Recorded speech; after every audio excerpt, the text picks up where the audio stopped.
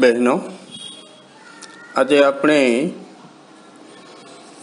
સાહિત્યના સિદ્ધાંતો ભાગ એક માં લલિત કલા વિશેના કેટલાક સાહિત્ય મીમાંસકોના અવતરણોની વાત કરી અને એ જ મુદ્દામાં લલિત અને લલિતેતર કલા વચ્ચેનો ભેદ અને લલિત કલાઓમાં સાહિત્ય કલાની વિશિષ્ટતા.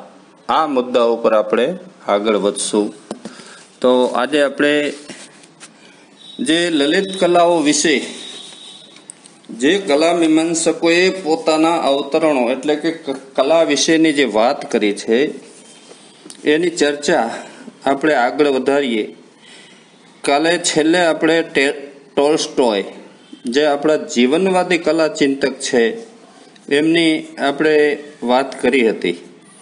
આજે આપણા જ, એટલે કે ગુજરાતી ભાષાના આ કવિ કે જેમનું નામ ઉમાશંકર જોશી, એમને કલા વિશે જે કહ્યું છે, તે સમ સંવેદન એમ કહે છે. કલા, કલાનું કાર્ય સમ સંવેદન. એટલે ટોલ્સ્ટોય અનુસાર કલાની પ્રક્રિયા એ છે કે પોતાના હૃદયમાં જાગેલું સંવેદન, ક્રિયા, રેખા, રંગ, ધ્વનિ, શબ્દ, શબ્દરૂપ દ્વારા અન્યના હૃદયમાં સંક્રાંત કરવું. સંવેદનનું સંક્રમણ કરવું તે જ કલા પ્રવૃત્તિ છે. તો ઉમાશંકર જોશી જે સમ સંવેદનની વાત કરે છે. તો એમાં પણ એ જ વસ્તુ આપણને જોવા મળે છે કે સમ એટલે સમાન, સંવેદન એટલે એક પ્રકારની લાગણીઓ. જ્યારે કલા વિશે આપણે કોઈ વસ્તુ જોઈતા, જોતા હોય, ત્યારે આપણે ભાવમાં, ભાવકના ભાવમાં અને જે કલાકૃતિ રચનાર છે એ બંનેના સંવેદનો છે એ સમાન જ્યારે થાય, તો કલાનું કાર્ય છે એ ઉત્કૃષ્ટ કોટીએ પહોંચેલું કહેવાય. એટલે આ રીતે આપણે આગળ વધીએ, તો ક્રોચે જે કલા મીમાંસક છે, એ અભિવ્યક્તિવાદી દાર્શનિક વિચારધારા ધરાવે છે અને કલા વિશે એમનું અવતરણ એ છે કે મનોગત અભિવ્યક્તિ. એ ક્રોચે મનોગત અભિવ્યક્તિમાં માને છે. એટલે મનોગત એટલે આપણી માનસિક કે આત્મિક ક્રિયાઓ બે પ્રકારની છે. એ બે પ્રકારની ક્રિયાઓમાં મનોગત અભિવ્યક્તિની વાત ને એ સ્વીકારે છે. એટલે ક્રોચે પછી આપણે રવિન્દ્રનાથ ટાગોર, આપણા ભારતીય સાહિત્ય મીમાંસક, એ પણ ક્રોચેના કલામતને અનુમોદન આપે છે. એટલે વિજ્ઞાનના ગ્રંથોમાં જે વિષય નિરૂપણ હોય, કલાકૃતિઓમાં, તો આત્મા અભિવ્યક્તિ જ જોઈએ. કલાનું મુખ્ય ધ્યેય વ્યક્તિત્વની અભિવ્યક્તિ છે. એટલે આત્મા અભિવ્યક્તિ એ મુખ્ય કામ કલાનું છે. સૂક્ષ્મ અને વિવેચનાત્મક વસ્તુનું નિરૂપણ નહીં. અંદર જે પડેલું છે, આપણા આત્માની અંદર, આપણા મનની અંદર, આપણી લાગણીઓની અંદર, એ જ્યારે આપણે વ્યક્ત કરીએ છીએ, તો એને આપણા રવિન્દ્રનાથ ટાગોર એ ક્રોચેની જેમ જ કહે છે કે કલા છે માત્ર સૌંદર્ય નિર્માણ કરવાનું કાર્ય એને નથી, પણ સૌંદર્ય કલાનું ધ્યેય નથી, સાધન છે. એટલે ટાગોર સૌંદર્યના ઉપાસક છે જ.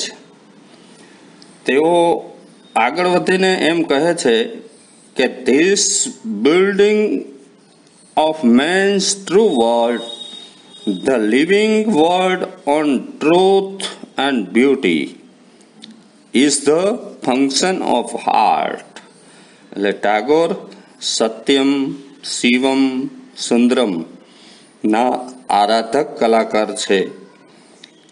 એ આપણે જોઈએ. અને હવે પછી કાર્લ માર્ક્સ એ અર્થશાસ્ત્રી, સમાજવાદી અર્થશાસ્ત્રી કાર્લ માર્ક્સ એમણે પણ કલાકાર વિશે વાત કરી છે. એમાં એ ચેતનાને સામાજિક સંપત્તિ કે સમાજની ચેતનાની બક્ષિસ માને છે. એટલે માર્ક્સથી આગળ વધી તો આપણા ગાંધીજી એ પણ એક સારા મીમાંસક છે. એ ગાંધીજીનું કલા વિશેનું એમનું મંતવ્ય, જીવન સૌ કલાથી અદકું છે. ગાંધીજીને મન કલાનું મૂલ્ય એ જીવનને કેટલે અંશે ઊંચ બનાવે છે તે પર જ હતું. કલા છે એ માનવ જીવનને ઉચ્ચતાના શિખર તરફ ન લઈ જાય તો કલાનું કાર્ય છે ગાંધીજીના મતે એ બિન પાયાદાર છે. સાચું જીવન જીવવાની જે પદ્ધતિ કલા આપે, તો એ ઉત્તમ કલાકાર. કલામાં તેમણે દરિદ્ર નારાયણની ઉપાસના સૂચવી એટલે આ રીતે ગાંધીજી પછી આપણે જો વાત કરીએ કલા ચિંતકોની અંદર બે મત છે એ ધરાવે છે. એમાં કલા મૌલિકતાયુક્ત અનુકૃતિ છે. કલા મૌલિકતાયુક્ત અનુકૃતિ છે. એટલે કલાને અનુકૃતિ કે પ્રતિકૃતિ માનનાર કલાચિંતકોના જે મત છે, એમાં બીજા મતને કલા કલ્પના સૂચક આદર્શ એટલે એની અનુકૃતિ છે. તો આ રીતે અનુકરણવાદીઓ, આદર્શવાદીઓ છે કલાને પ્રકૃતિની કે કલ્પનાત્મક આદર્શની પ્રતિનિધિ કે અનુકૃતિ માત્ર કહીએ તેમ ચાલે તેમ નથી. કલામાં એથી કંઈક વિશેષ હોય છે. અનુકરણ તો મરણ જ નીવડે. માત્ર અનુકરણ કલાની અંદર એ મૃત્યુ સમાન છે. એટલે આ વાત છે એ આપણને નૃસિંહ કે હયવદનના જે આલેખન કલાકાર કરે છે, એમાં આ વસ્તુ આપણને દેખાય છે. એટલે અનુકરણ કલાકાર કરે છે ત્યારે તેમાં કલાકારનો આંતર મૌલિક અભિનવ ઉન્મેષ આવે જ છે. અને આ બધું આપણને કલાકારે પોતાની કલામાં મૌલિકતાનો ઓપ આપી અને કલાકાર ચંદ્રની, ચંદ્ર પ્રકૃતિના ચંદ્રથી કંઈક જુદો જ હોવાનો. કલાકારની પ્રતિકૃતિ, અનુકૃતિમાં એક જાતની અનિર્વચનીય મૌલિકતા હોય છે. મૌલિકતા એટલે પોતાની અંદરથી ઉદ્ભવેલી અનુ, અનુભૂતિ. એમાં બીજા કોઈનું યોગદાન ન હોય, પણ પોતાના આત્મામાંથી ઉદ્ભવેલી વાત. એટલે જો, અને એ અનુકૃતિમાં પણ પાછું એવું છે કે કલા દ્વારા કલાકારને આનંદ આવે, તો જ ભાવકને આનંદ થાય. કલાનો આનંદ એ તો નવસર્જનનો આનંદ છે. ભાવન પણ નવસર્જનના પરિચયથી જ આનંદની અનુભૂતિ બને છે. કલાને આકૃતિ કહેશો તોય મૌલિકતા યુક્ત તે સર્જનાત્મક અનુકૃતિ કહેવી પડશે. એટલે આ એક વાત છે, કલા છે એ મૌલિકતા યુક્ત અનુકૃતિ. હવે બીજું એક અવતરણ એવું છે કે કલા, કલાકારનો આંતર ઉન્મેષ છે. આંતર ઉન્મેષ? એટલે અંદરની જે આપણે વાત કરી હતી, અંદરથી જે કંઈ ઉદ્ભવે છે, એ ઉદ્ભવ. એટલે કે કલાકારના ચિત્તમાં જે કંઈક થાય છે, કંઈક નવું પ્રગટે છે કંઈક નવું ઉગે છે. અને એનો આસ્વાદનો વિષય બનાવવા એ ભાવક સમક્ષ જે રજૂ કરે છે. અને એ રજૂ કર્યા વિના કલાકારને ચાલતું પણ નથી, કારણ કે માણસના મનમાં ઉદ્ભવેલી લાગણીઓને અભિવ્યક્ત કરવી જ પડે છે. તો આને કલાકાર, કલા છે એ કલાકારનો આંતર ઉન્મેષ એ છે એમ પણ કહેવામાં આવે છે. ત્યાર પછી આપણે આગળ વધીએ તો કલા અભિવ્યક્તિ છે, એ વાત પણ આપણે જોઈ. એમાં જાજો મતભેદ નથી.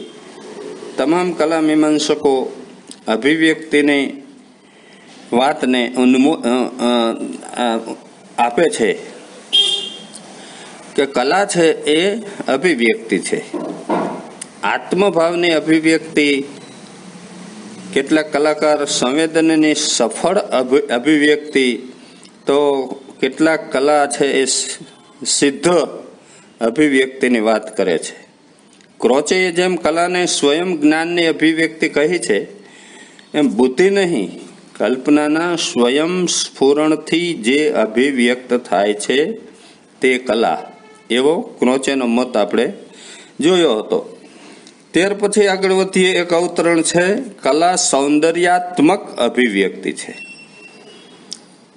કલા છે એ સૌંદર્યાત્મક અભિવ્યક્તિ છે.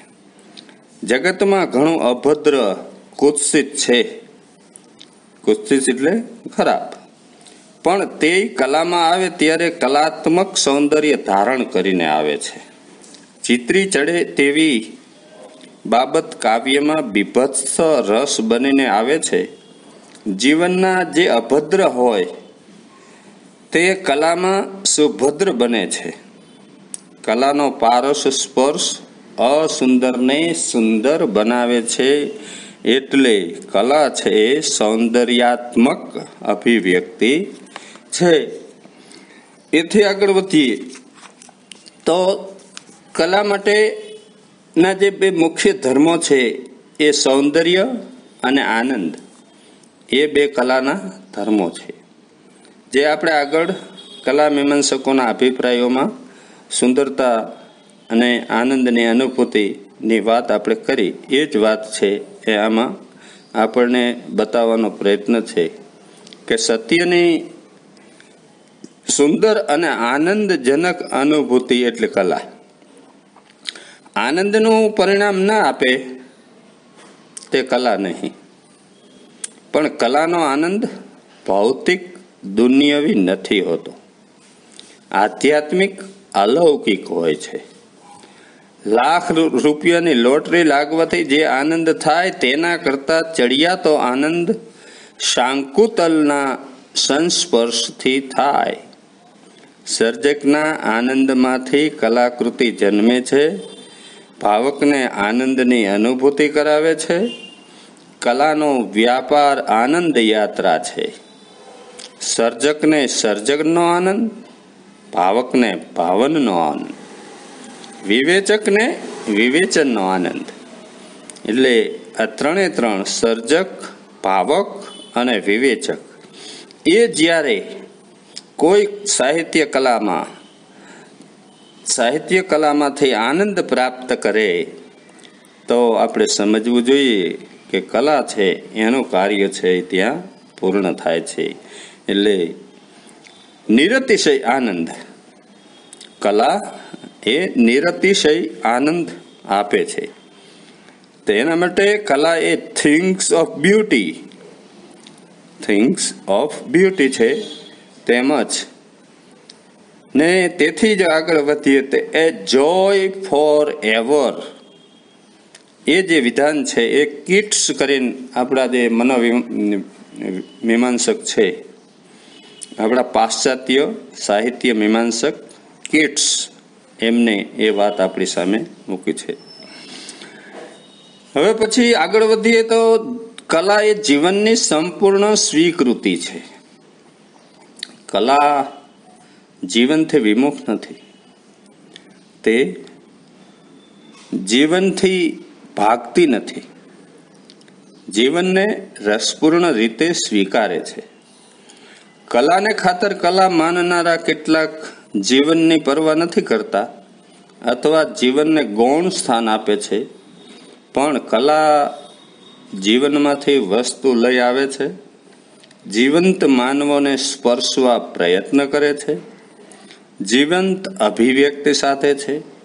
પછી જીવનથી દૂર કેમ રહી શકે? કલા જીવનનું દર્શન કરાવે છે. જીવન પ્રત્યેની દ્રષ્ટિ સ્પષ્ટ કરે છે. માનવને જીવન જીવવા દર્શન કે સમ્યક માર્ગદર્શન આપે છે. એટલું જ નહીં. શાસ્ત્ર અને ઇતિહાસ કરતાં સારી રીતે આનંદપૂર્વક જીવન જીવવાની સમજ આપે છે. તો આ જીવનની રસપૂર્ણ સ્વીકૃતિ એ પણ કલાનો એક ભાગ જ છે. કેટલાક મીમાંસકોએ એમ કહ્યું છે કે કલા કલાકારના આત્માની અમૃત કલા છે. આત્માના સત, ચિત્ત ને આનંદ. જેમ રવિન્દ્રનાથ ટાગોરે આપણને કહ્યું હતું કે સત્યમ શિવમ સુંદરમ. એ જ રીતે અહીં પણ આપણને સચ્ચિત્તાનંદ સચ્ચિદાનંદ સત ચિત્ત અને આનંદ. સત એટલે સત્ય ચિત્ત એટલે મન અને આનંદ એટલે આનંદ. એ ત્રણ ધર્મો કલામાં દેખાય છે. કલા આ જગતમાં જે અસ્તિત્વ ધરાવે છે કે હોઈ શકે એમ છે, તેવા સતનું નિરૂપણ કરે છે.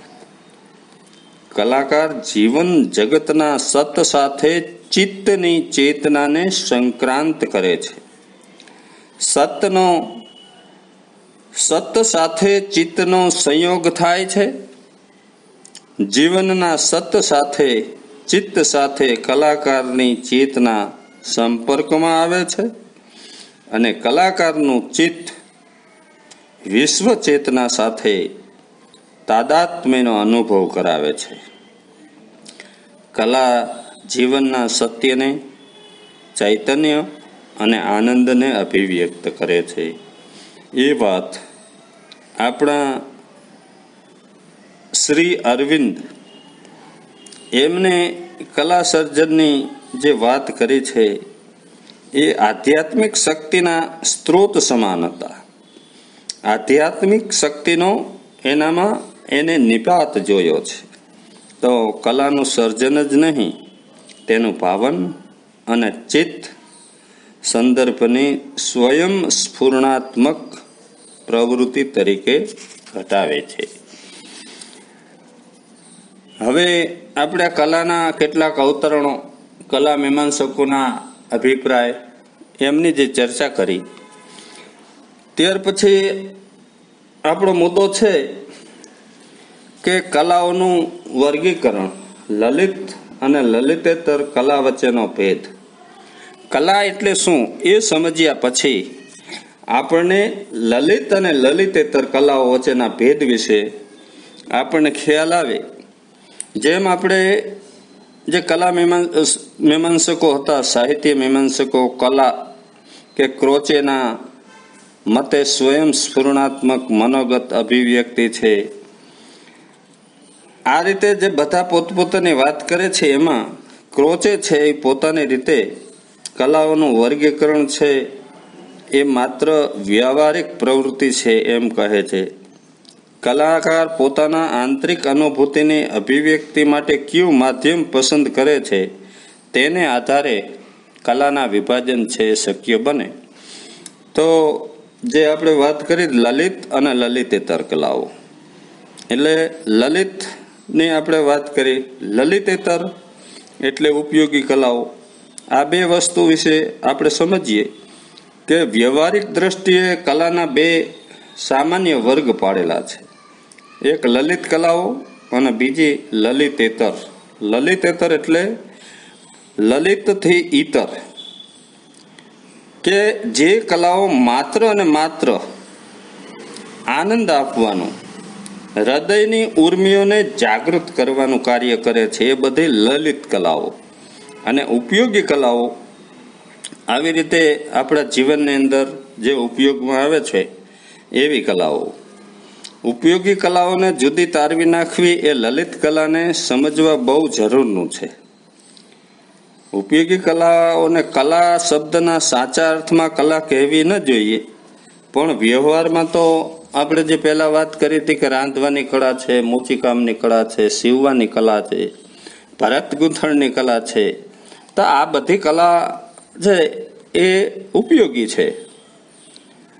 અને ત્યાં ઉપયોગી કારીગરો કે ઉદ્યોગ માટે કલા શબ્દ વપરાયો છે. તે કળાઓ જીવનની ઉપયોગી વસ્તુઓ બનાવે છે. તેથી ઉપયોગી કળાઓ કહેવાય છે. આ ઉપયોગી કળામાં સાહિત્ય, લાલિત્ય કે સૌંદર્યની અનિવાર્યતા નથી. જોકે ઉપયોગી કળામાં પણ લાલિત્ય જોવા મળે છે, પણ ઉપયોગીતા મુખ્ય છે. મોજડી સુંદર છે કે કેમ તે પૂછી જોવાનું. પહેલા જોવાનું એ છે કે મોજડી છે એ આપણા પગ, પગમાં ડંખ મારે છે, ડંખિયા કરે છે. આપણને ક્યાંય બિન અનુકૂળતાનો અહેસાસ કરાવે છે. કોઈએ સુંદર લીંપણ કરેલું હોય, તો એ ભાતીગળ જેવું હોઈ શકે છે. પણ ત્યાં લાલિત્યની અપેક્ષા ન સંતોષ, સંતોષાય, તો એનો કોઈ વાંધો નહીં. આપણે તો લીંપણનું કામ થવું જોઈએ. આ ઉપયોગી કળાઓથી સાહિત્ય, સંગીત, ચિત્ર વગેરે વધુ કલાત્મક હોય એ લલિત કલાઓ કહેવાય છે. લલિત કલામાં લાલિત્ય, સૌંદર્ય, રસિકતા, આનંદપ્રદતા એ બધા એના ધર્મો મુખ્ય છે. સૌંદર્ય બોધ કે આનંદદાન એ જ લલિત કલાનો મુખ્ય ધર્મ અને ઉપયોગ છે. જીવનની સૂક્ષ્મ જરૂરિયાત કે ઉપયોગિતા લલિત કલા પૂરી પાડે છે. સ્થૂળ ઉપયોગિતા ઉપયોગી કલાઓ પૂરી પાડે છે. કલા વિશે જે ઉત્સાહપૂર્વક, ઉલ્લાસપૂર્વક કહેવાય છે તે લલિત કલાને લાગુ પડે છે એટલે સાહિત્ય, સંગીત, ચિત્ર, શિલ્પ અને સ્થાપત્ય એ પાંચ પ્રમુખ લલિત કલાઓ છે. એટલે આપણે જોયું કે લલિત કલાઓ છે એ પાંચ મુખ્ય કલાઓ છે. એ સિવાયની જે કલાઓ છે એ કલાઓ બધી ઇતર કલાઓમાં લલિતથી થોડીક અલગ કલાઓમાં, જેને આપણે ઉપયોગી કલાઓ તરીકે વાત કરી, એ ઉપયોગી કલાઓમાં એ બધી વસ્તુઓનો સમાવેશ થાય છે. હવે આપણે પાશ્ચાત્ય મત પ્રમાણે પ્રચલિત ને બહુમાન્ય, એટલે કે લલિત અને ઉપયોગી કલાઓ આ પ્રકારનું વર્ગીકરણ જોવા મળે છે તેમાં. તેમ છતાં, બીજા વર્ગીકરણના પ્રયત્ન થયા છે તે નોંધવા જોઈએ. કલાની સિદ્ધિના આધાર પર કલાઓના બે વર્ગ પાડવામાં આવ્યા છે. એક પ્રાકૃતિક કલા પ્રાકૃતિક કલા એ એવી છે, એ પ્રકૃતિ દત્ત છે. એટલે કે માણસને જે પ્રતિભા સિદ્ધ કે જન્મ સિદ્ધ પ્રાપ્ત થાય છે, તે બધી કલાઓને લલિત કલાઓમાં સમાવવાનો પ્રયત્ન કર્યો છે.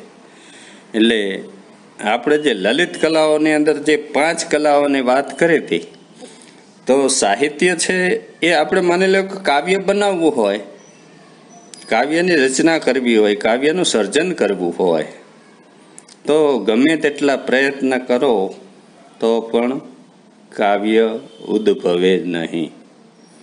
એના માટે તો જન્મ સિદ્ધ પ્રતિભા એ પ્રાપ્ત થયેલી હોય તો આપણે પછી આગળ વધી શકીએ. તો સંગીત, ચિત્ર, શિલ્પ અને સ્થાપત્ય. આ બધી કલાઓ છે એ પ્રાકૃતિક કલાઓમાં. એનો સમય સમાવેશ કરેલો છે કે જેની મૂળ જો આપણે જોઈએ, તો એ માનવને જન્મ સિદ્ધ અધિકાર પ્રાપ્ત થયો હોય, એની અંદર એ પ્રતિભા સિદ્ધ હોય, તો આવી કલાઓને પ્રાકૃતિક કલા સોરી, અને બીજી જે વાત આપણે કરીએ છીએ, એ અનુભવ સિદ્ધ કલા. એટલે આપણે જે ઉપયોગી કલાઓની વાત કરતા હતા, કે જે કલા અનુભવ કે જ્ઞાનથી મેળવી શકાય છે તે ઉપયોગી કલાઓ. કોઈ સીવણ કામ કરતા હોય અને આપણે ત્યાં બેઠા બેઠા જોતા હોઈએ, તો એની પાસેથી આપણે એ વસ્તુ શીખી શકીએ અને એના કરતાં પણ આપણે આગળ વધી શકીએ. જેમ દ્રોણાચાર્ય પાસે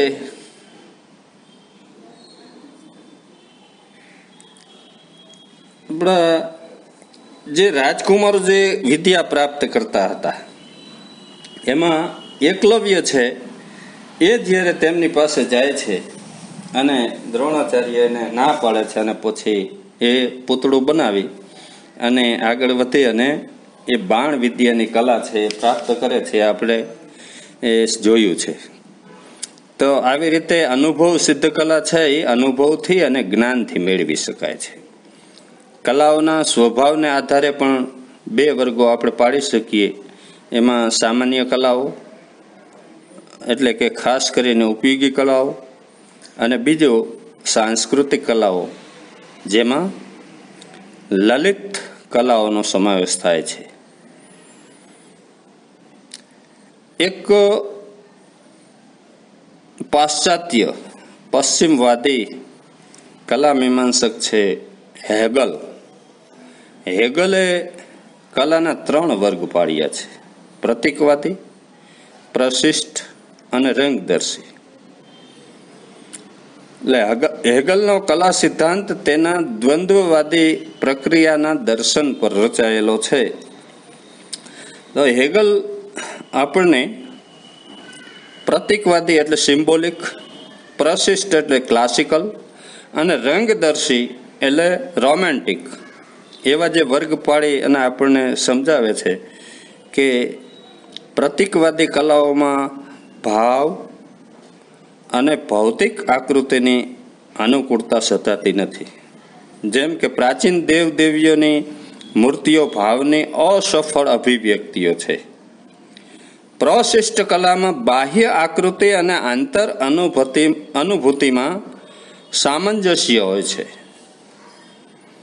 દાખલા તરીકે ગ્રીક દેવી દેવતાઓની પ્રતિમાઓ.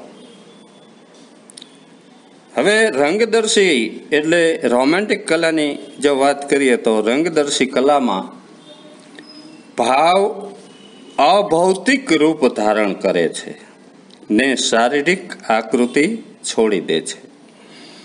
એટલે હેગલે કલાના, લલિત કલાના પાંચ વર્ગો પાડ્યા છે. એમને જે આપણે આગળ વાત કરી હતી, એ જ વાત. એમને વાસ્તુ, વાસ્તુકલા એટલે કે સ્થાપત્ય. બીજી શિલ્પકલા એટલે મૂર્તિકલા. ત્રીજી ચિત્રકલા. ચોથી સંગીત કલા અને પાંચી, પાંચમી કાવ્યકલા. કાવ્યકલા કાવ્ય કલા એટલે તમામ પ્રકારના સાહિત્યની વાત આપણને કરી છે. તો આ લલિત કલા અને લલિતેતર કલા ના જે હેગલના સિદ્ધાંત પ્રમાણે આપણે આગળ વધીએ, તો આપણને બે કલાઓ, લલિત અને લલિતેતર કલાઓ પ્રાપ્ત થાય છે. લલિત કલાઓનું એક બીજું વર્ગીકરણ પણ હેગલે જ આપ્યું છે કે આંખની કળાઓ, એટલે ચાક્ષુષ ચ, ચક્ષુ, શ. એટલે આંખની કળાઓ. એમાં ત્રણ કળાઓ એમને મૂકી છે. સ્થાપત્ય, શિલ્પ અને ચિત્ર. આ ત્રણે ત્રણ કલાઓને આપણે આંખથી જોઈ શકીએ છીએ, આંખથી માણી શકીએ છીએ. અને એનું અનુભવન કરી શકાય છે. અને આનો આશ્રય છે એ મૂર્ત છે, મૂર્ત પદાર્થ છે. બીજી જે વાત કરી છે એ કાનની કલાઓ. જે શ્રુત કલાઓ છે. કાનની કલાઓ, શ્રુત સાંભળીને. સંગીત અને સાહિત્ય. આ શ્રાવ્ય કલાઓ કે જે કાનથી શ્રવણ કરીને એનો આસ્વાદ લઈ શકાય. સાહિત્યના શબ્દો લખાય છે ને વંચાય છે, તેટલે અંશે તે આંખની કલા બને ખરી? અરે, ના ના. શબ્દોના શ્રવણથી સાહિત્ય કૃતિ આસ્વાદ્ય બને છે અને એમાં આપણું મન એ અગત્યનો ભાગ ભજવે છે. એટલે આપણે આ જે કલા છે લલિત અને લલિતોત્તર કલાની વાત પૂર્ણ કરીએ. હવે આપણે સાહિત્ય કલાની જે વિશિષ્ટતા છે, એ સાહિત્ય કલાની વિશિષ્ટતાઓ વિશે આપણે હવે પછીના વ્યાખ્યાનમાં એની ચર્ચા આગળ વધારીશું તો અહીં આપણું કાર્ય છે એ પૂર્ણ કરીએ. નમસ્કાર. આવજો.